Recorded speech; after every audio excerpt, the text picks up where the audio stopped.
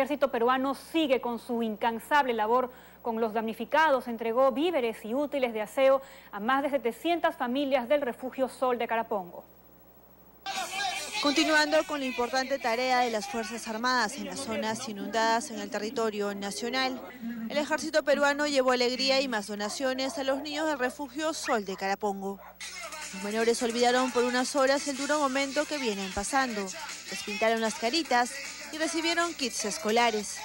Para que esos niños eh, se olviden un poco de la desgracia que están pasando y se alegren un momento dándoles una señal de esperanza, de esperanza y sobre todo de que hay peruanos que estamos preocupados en todos los damnificados. Y esta es una tarea de todos.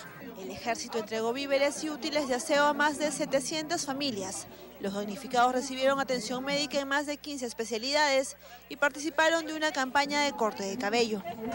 Con el apoyo de la Clínica La Luz, que ha traído cerca de 30 médicos de diferentes especialidades, para que puedan atender desde pediatría hasta los adultos.